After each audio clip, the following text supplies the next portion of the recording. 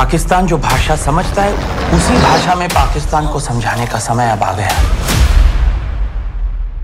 हमारा हिंदुस्तान जिंदाबाद था, जिंदाबाद है और जिंदाबाद रहेगा।